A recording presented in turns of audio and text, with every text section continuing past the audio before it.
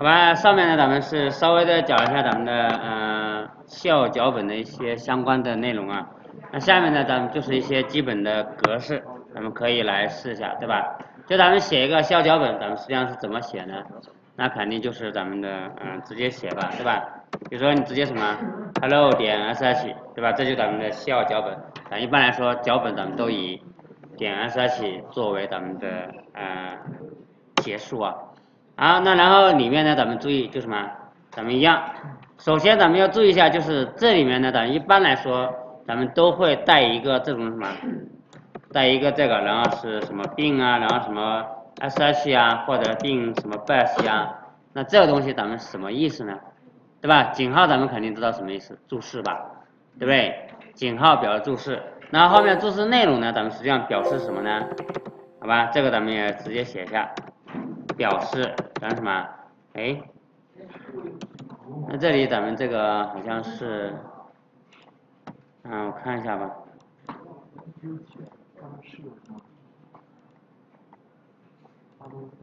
UTF 杠八，对吧？表示什么？好，表示用哪一种什么呀？效。解释器来解析，讲什么？解释来解析执行啊，咱们的程序脚本，对吧？就是这一行呢，咱们实际上就是指定咱们的这个脚本，咱们是哪个语言的，好吧？哪种解析器来解释的？那这是咱们第一个，然后呢，后面咱们什么就可以直接写咱们的。内容了吧，对吧？比如说我就打印一个什么，打印一个 Hello World，对吧？直接打印或者什么，打印一个反正其他的任意的东西咱们都可以啊，好吧？当然什么，你直接哎这边再再来一个什么注释啊什么的，反正都可以，对吧？然后你什么在上面这边呢，同样也可以来一个注释，对吧？一个井号就够了，对不对？一个井号就够了，表示咱们后面的东西都是咱们什么？都是咱们注释，好吧？那这个咱们直接来走着，对吧？然后这里咱们就什么？现在是不是有个 hello 点 sh 的脚本吧？对。但是咱们注意这个脚本，咱们现在来说，你的权限是什么权限？有 x 权限吗？没有 x 权限吧？没有 x 权限，那咱们怎么执行呢？对，一个是增加权限，另一个咱们什么？可以直接用这个来做。好吧，sh hello 点 sh，对吧？等于说什么？前面呢，就像咱们的 awk，咱们不是说了吗？awk，然后什么？咱们直接带你的执行命令行吧，对不对？这东西其实也一样啊。sh 后面是不是带什么？带你的文件嘛，对不对？awk 也可以什么？杠 f 你的文件嘛，是不是？杠 f 它指什么？它只是多加了一个杠 f 而已，好吧？这就是说咱们什么？指定了。哎，我是用什么样的一个什么？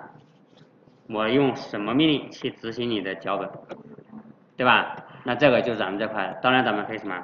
可以直接什么欠级 mod，然后什么 u 加 x 加呢，对吧？然后什么 hello world，是吧？然后这个咱们就什么？现在来看咱们这块有 x 前线吧？对不对？先，看后面看出来啊。有那个前沿的，是不是都出题是吧？黑一点，对吧？然后再接什么？那再接着咱们就可以直接点斜杠 hello 点下去，咱们直接这样来执行。啊，为啥这篇？那我前面没有注释吗？有，前面有。那上面我我不都一样的吗？啊，这是 sh 的，一样的呀，这个执行是一样的。呃，为什么会把这个东西给打出来了呢？可能一个就是好像真的是，然后多来几个，对，一般一个不够，都是多来几个，不管它了，对吧？点斜杠呃，hello，没有了吧？对？好像真的就是多来几个，好吧？给它权限，咱们直接 OK 就行了。好，这是咱们写脚本，咱们其实。脚本呢，咱们其实就这样写，好吧？一般来说就是这块，咱们写一个注释，当然这注释呢，咱们说过可以不写，好吧？确实可以不写，不写的默认咱们就是用这个并 bash 来解析，好吧？并 bash 来解析，或者怎么样？或者咱们像这样，这样实际上就是什么？就是指定咱们用 sh 来解析咱们的脚本，好吧？用 sh 来指解析咱们脚本啊。好，那然后呢，咱们再接着咱们就可以看一下，比如说这个。直接来什么？Hello，咱们刚刚说了嘛，直接这块咱们直接删了可以吧？这块咱们也直接删了，没有问题，对不对？直接删了我就保留这一个，是不是也可以？对吧？那保留这一个呢？咱们再接什么？那这个点斜杠 Hello 能不能执行？对不对？能不能执行？肯定难嘛。咱说过咱们什么？有个默认的解析器吧？对不对？并 bash 就是咱们默认的，好吧？并 bash 就咱们默认的，所以呢，这个咱们什么？实际上，咱们简单的这种的，只要你是咱们的什么 sh 的这种的，并 bash 的这种的，咱们可以不写，对吧？但是如果说你是什么，你是咱们 awk 的，那咱们就一定要把这个 awk 的啊解析器把它注释上，对不对？直接注释上或者怎么样？或者咱们就也可以什么？比如说你写了个 awk 的。咱们就是直接用这个 awk 来调用就行了，就跟咱们刚刚说的一样，直接这样来调用就可以，也是可以的，对吧？sh 的可以，然后什么 bash 的咱们也可以，对吧？咱们有没有 ch？ch 好像 csh 就没有啊，好吧？which csh 呢？没有，好吧？no，对吧？一般来说，咱们都是在呃 U 设 B 下面吧，应该是，这种呢，咱们都是在这边，好吧？那上面两个是不是都可以？对吧？上面两个都可以啊。好，那这是咱们这一块的，直接咱们这样什么？直接这样使用，咱们就 OK 了。好，那然后再接着咱们就来看一下，就是写的话，咱们实际上就简单的写一下，然后再接着就是咱们的需要的变量，对吧？编程的话，咱们一定要注意咱们什么？咱们是有变量的，好吧？那然后变量呢？咱们主要什么？咱们分为系统变量，哎，对吧？系统变量和自定义，对吧？刚刚 awk 咱们是不是也有什么？也有系统变量吧？对不对？那系统变量呢？咱们主要什么？当然，系统变量咱们有很多啊，咱们使用 set 命令。可以直接来查看咱们的系统变量，好吧？看到吗？这里的这么多都是咱们的系统变量，直接一个 set 就行了，对吧？一个 bash 看到没？默认的咱们什么？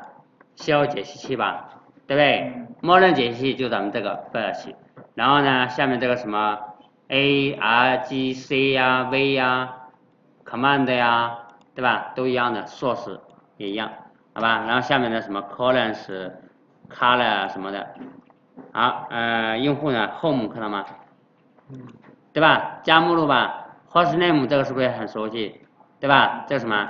咱们的系统叉八六还是六四位的，对不对？然后这个语言，对吧？Java home 咱们设置过，好吧？然后这个 log name，对吧？咱们什么？记日志的这个用户嘛，对不对？就咱们的系统变量，咱们其实有很多，对吧？最主要什么？咱们比如说你的 echo，然后什么多了多了 pass 是吧？对吧？多了 pass，然后什么多了咱们的 pwd 也是一样的吧？很多时候咱们就是用这些，然后包括你的这个 user，好吧？包括 user 都是一样的，这个就咱们注意要什么？使用 set，咱们直接 set，咱们就可以把它给查出来，好吧？set 给查出来，然后再加上就是什么？就是咱们的用户自定义变量。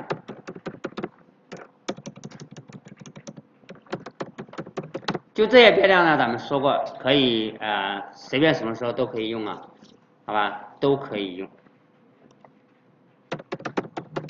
自定义变量咱们其实也一样，好吧？也一样。那然后咱们说 Java 里面咱们定义是怎么定义的？对不对？什么 int，然后什么 i 等于一。是这样定义的吧？对不对？要带什么？你的数据类型要有什么？初始值，对吧？那这个咱们稍微注意一下，就什么？高级语言，咱们才是什么？强类型的语言吧，对不对？编译型的，像哎，编译型的语言都是弱类型的，不需要定义什么类型，好吧？笑啊什么咱们。咱们的 AWK 也是，是吧？高级语言是 Java，咱们的强类型语言需要咱们定义，然后编译型的吧？什么是这个型呢？三吧，好吧？编译型的都是弱语言，咱们这个呢，那咱们就来看一下，对吧？直接来定义，比如什么？那这边咱们就定义的就是什么？a 等于一，直接走，然后呢，echo 一下多了 a 吧。对吧？这个引用咱们一定要注意啊，带上你的多了符，对吧？那 a 是一，然后什么？再来一个 a 等于一 hello world，嗯，对吧？然后再来什么？echo 多了 a，是吧？又成了什么？hello world，然后你再设一个 a 等于三，哎呦，怎么从这里输了？形式都行啊，echo 然后什么？多了 a。是吧？类型随便转换，是不是都可以？对吧？类型随便转换都可以啊。那这个咱们稍微的提一下吧，就是一般的规则，好吧？其实咱们变量一般来说什么？咱们的定义是什么呀？咱们一般是全大写，好吧？一般都是使用大写啊。规则就什么呢？呃，咱们变量名呢，咱们一定要注意，不能使用什么数字，然后嗯。开头，好吧，不能使用数字开头。那首字母，那什么，不要使用咱 bash 的关键字，好吧？这个一般来说什么？咱们所有的语言，咱们其实都会提到这点啊。关键字能不用，咱们就尽量不用，对吧？就比如说什么 set，这东西咱们就叫一个关键字嘛，对不对？包括你什么，咱们什么 pwd 啊。咱们的 pass 啊，这些东西是不是也都是你的什么？都是你的关键字吧，对不对？就这块咱们关键字咱们是一定要注意的。作为咱们专业的开发人员，咱们这些东西咱们一定要把它给搞定，好吧？那然后第二个就是咱们一些双引号跟单引号的区别，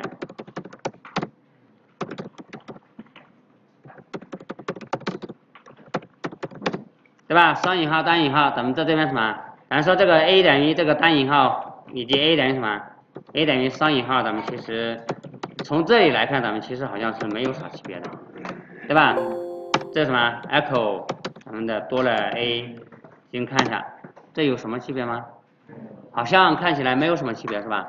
没有什么区别，但是咱们这个咱们要注意，咱们什么？咱们很多的东西咱们其实都是，那比如说，如果说我 a 等于 hello，可以吗？谁告诉你不可以？可以啊，然后什么？echo 多了 a 吧，是不是？那 a 等于 hello word 呢？这个可不可以？啊？这个应该不行是吧？来看一下，对吧？它报的是什么？word 没有命令嘛，对不对？就是加了空格，它是什么？前面的就结束了，空格就表示什么？一行一个一个的命令嘛。对不对？那这种呢，咱们就注意什么？咱们是不是要要引用引号来做？对？那这个时候咱们说这种什么？咱们用单引号还是用双引号？在这里咱们都是一样的吧？对不对？就单引号上面什么？上面双引号，上面单引号都一样啊。但问题是，咱们如果说我要什么？如果说我是这样的呢？Hello world。对吧？那比如说我是这样的，然后我想实现的是这样的一个，就比如什么什么 hello world 加个 s 好吧？就是我想实现的最终的就是这样的，但是我要求你用 hello world 用咱们刚刚的变量来做，这里是不是咱们什么 hello world 吧？对不对？那 hello world 意思什么？意思咱们的嗯 best 可以吧？好吧？咱们直接这样写，那。如果是这样的话，咱们怎么做比较合适？对不对？咱们刚刚设了什么 a 等于咱们的什么 hello world，对吧？用加号是吗？a 就直接等于这个 hello world，咱们这种的咱们如何去实现比较的合适？好吧？如何实现？咱们注意啊，这个东西咱们怎么做？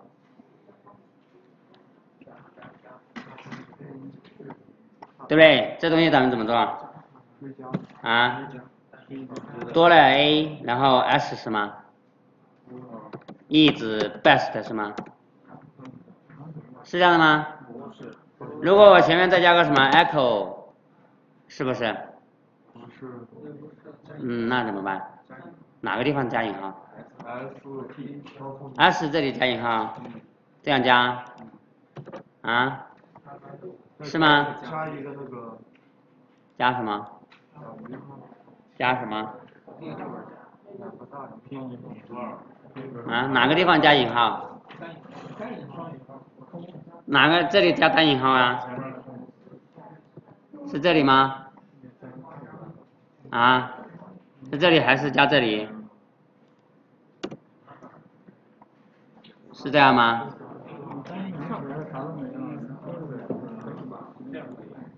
对不对？那试试吧。看起来好像有点像是吧？出来啥了？是吧？这个 a 就什么？这个多了 a 好像没有当做变量来做了吧？对不对？那这个怎么办？是吧？这个怎么办？那如果是这个呢？看一下是什么？哎，东西好像出来了是吧？是不是？怎么？咱至少后面的一只 best 出来了吧？前面的咱们说这是什么呀？它是不是多了把这个 as，因为中间没有任何的空格什么的吧？它是不是把它当做了一个变量？这个变量咱们没有定义过吧？没有定义过，前面就是空吗？对不对？那说明这个东西咱们好像好像有戏是吧？有戏啊！咱们不用加大引号，加什么？加啥呀？加这个吧，对？把它引起来嘛。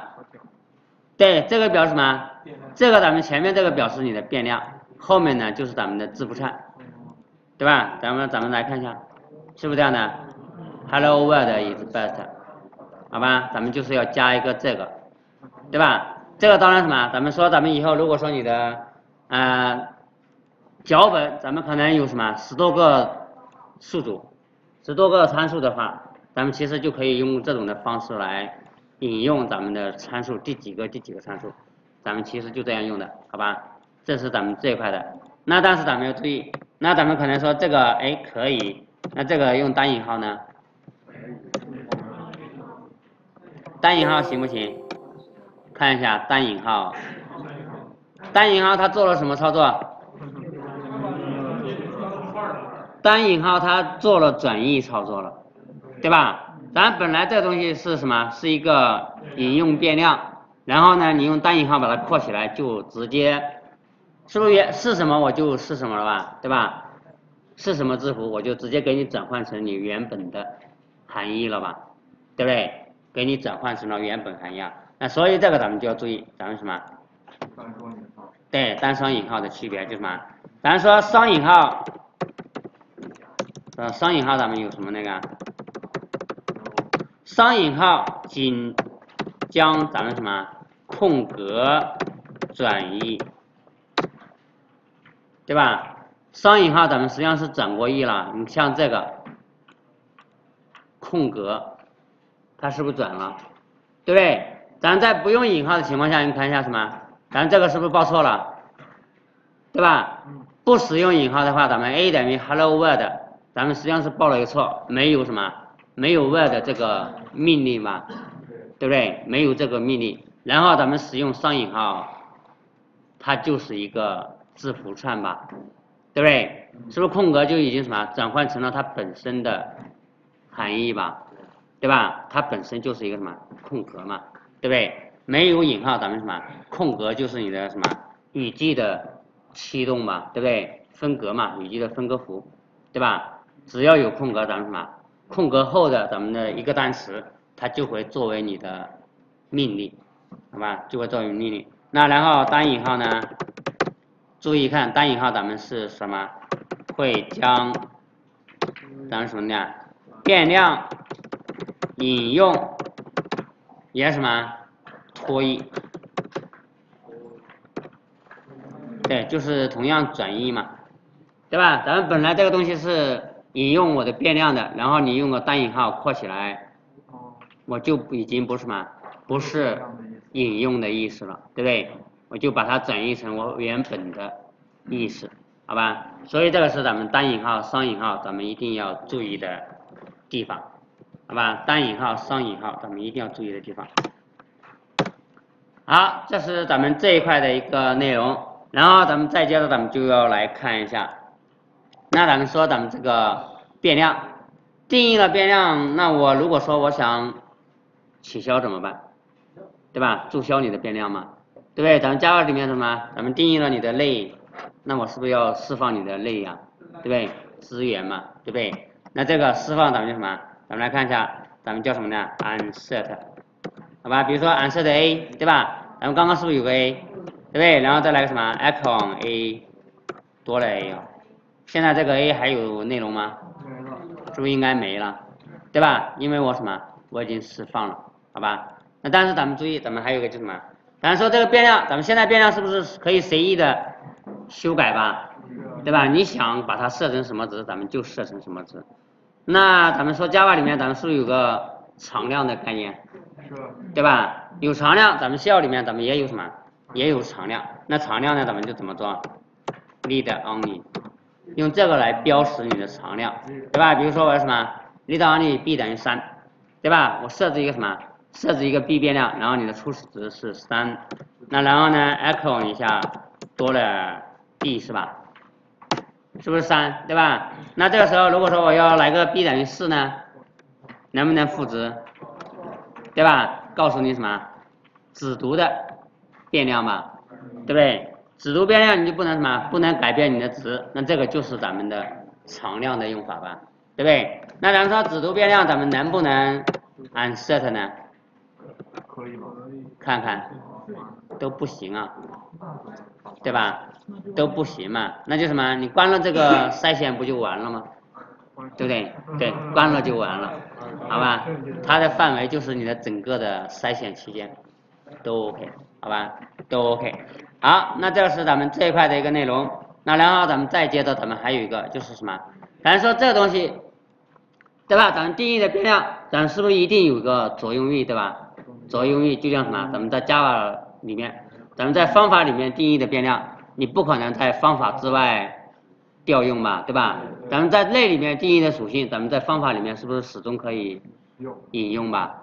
对不对？始终可以引用，那这边呢，咱们实际上也是一样的，好吧？当然这个呢，咱们就什么，比如说这个上面有个案例啊，咱们直接看一下，就这块的咱们这个的案例，好吧？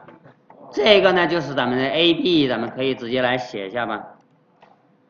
好，比如说嗯，make dir 一下吧，然后是怎么说？sh，咱们用什么？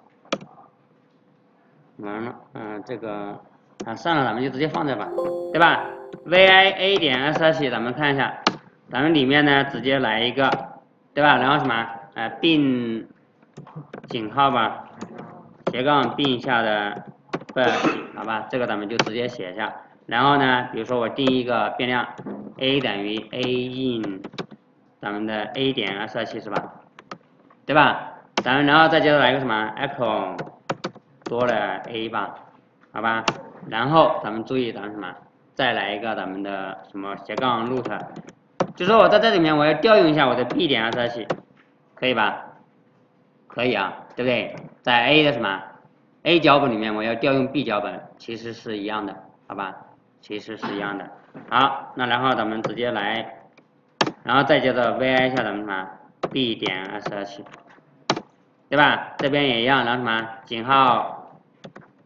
斜杠并下的 bash，好吧，那这个呢，咱们什么？咱们就直接来一个 b 等于同样定义的变量 b in 等于什么 b 点 sh，好吧？然后当然什么，咱们 icon 一下咱们的多了 b 吧，对不对？然后再接着 icon 一下，哎呦，多了 a 可以吧？是不可以？对不对？咱这个什么，咱是不是 a 里面的我定义了 a 的变量吧？对不对？a 里面定义了 a 的变量，那我要在 b 里面，因为 b 是属于我的 a 的子程序吧？我在内部调用了嘛？对不对？那就是子的，好吧？那正常来说，咱们什么，在咱们的 Java 类里面，咱们说你的什么类里面定义的，我在你的方法里面好像是可以用的吧？对吧？类定义的在方法里面可以用。那这里咱们可能什么？我觉得，那你在什么，在你的副方法里面调用的定义的，我在子方法里面应该也可以用才对呀，对不对？那这个咱们就直接这样写一下，好吧？好，好的。对吧？那这样一来，咱们看一下咱们这些的打印出了什么内容出来，对不对？那这个咱们直接来什么 a 点二十二七吧，对吧？直接这样执行一下就 OK 了，好吧？好，啊，这个没有权限，好吧？欠几末的，然后什么 u 加 x a 点二十二七 b 点二十二七，好吧？两个都给它权限吧，点斜杠 a 点二十二七。啊，用权限，问题是你里面注意，里面直接这样调用了它，没有权限咱们是调用不了的，对吧？注意看咱们的内容，a in a，b in b，然后第三个是不是就没有？对吧？说明咱们的权限在什么？说明咱们的哎 a 在 b 脚本里面不能调用吧？对不对？说明咱们的 B 在啊 A 在 B 脚本里面，咱们实际上是调用不了的，好吧？调用不了的，这个实际上跟咱们什么？跟咱们的执行的过程是有关系的，好吧？执行过程也就什么呢？咱说咱们这个当前这个筛选，咱们实际上是一个执行空间，好吧？执行空间也就是什么？咱们在这个筛选下面执行的所有的命令，它实际上都会在咱们当前的空间里面。开辟一个子空间，好吧？它会开辟一个子空间来执行你的啊脚本，对吧？那然后呢，咱们说，咱们执行了这个脚本，但是咱什么？但在这个脚本里面，咱们又同时调用了 B 脚本吧？那么 B 脚本呢，对它来说，对 A 来说，咱们又是一个子的程序，好吧？那所以呢，B 脚本呢会在 A 的空间里呢，它再开辟一个子的空间，对吧？再开辟一个子的空间嘛，那这个咱们就什么？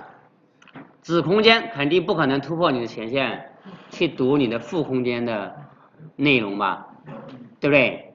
子空间啊，子什么？就像是一个子集似的，它是不可能突破你的这种的权限的，好吧？那这样一来，咱们说这个东西咱们到底怎么做，它才能？突破空间呢，对不对？到底怎么做？那这个咱们就什么？其实咱们昨天这个东西咱们其实已经做过了，叫什么东西啊？export 吧，对不对？咱昨天定义什么？vi-etc 下的 profile 文件里面，咱们 Java Home 不就是这样做的吗？对不对？export 然后什么 Java Home 然后等于什么什么，是吧？把它定义成什么？你的全局变量，对不对？定义成全局变量，那这个咱们就可以什么？直接来一个 a 点 SH，咱们看一下，就是在这里，咱们把它加什么？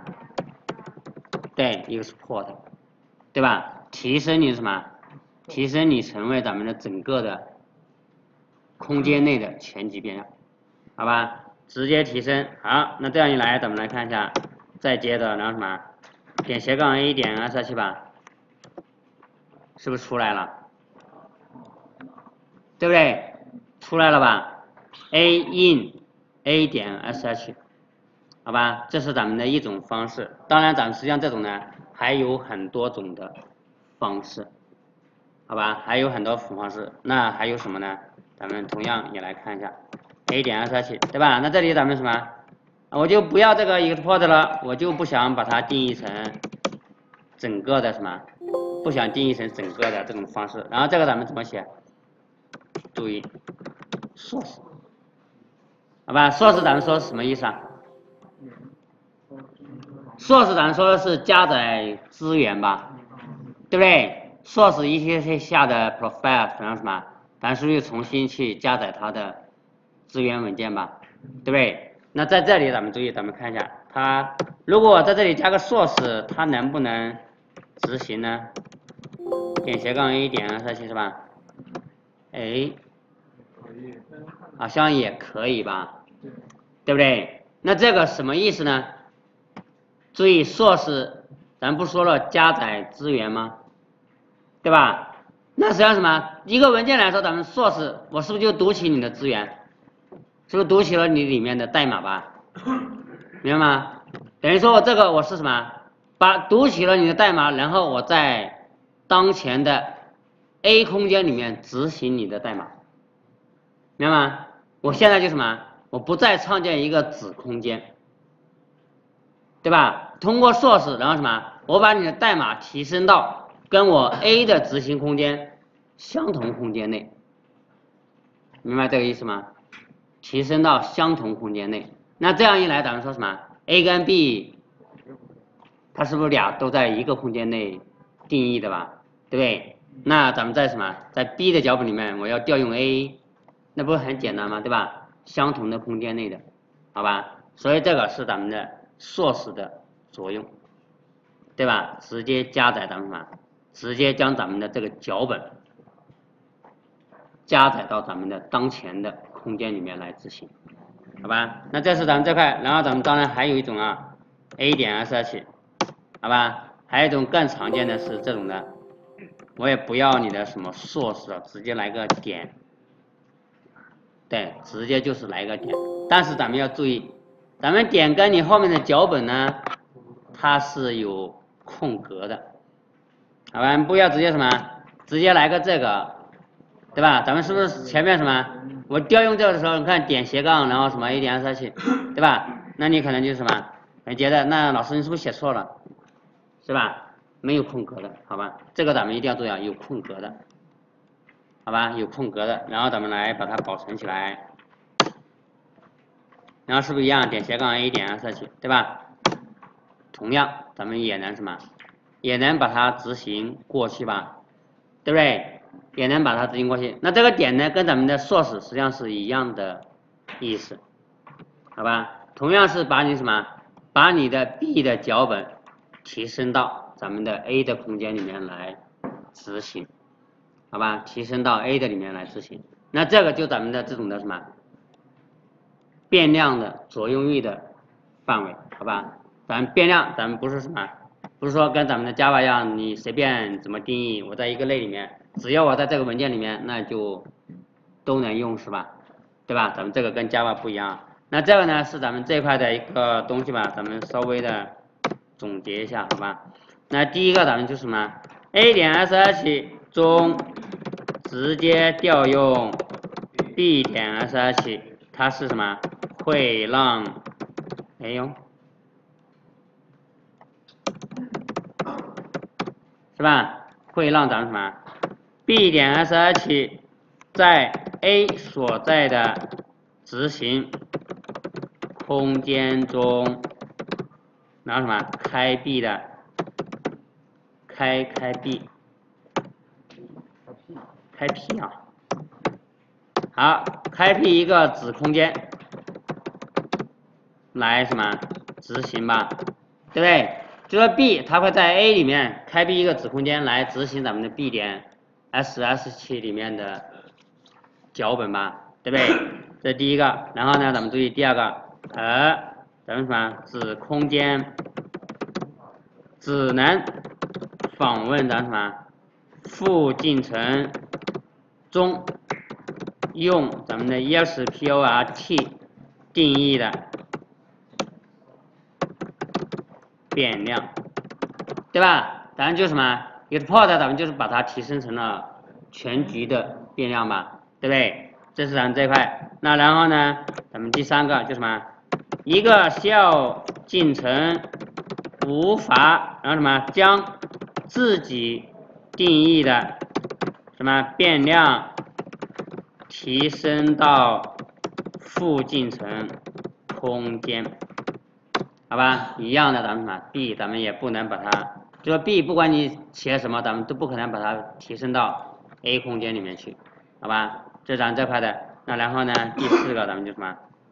注意第四个咱们刚刚说了，逗号、点号啊，对吧？点号，然后什么？调用。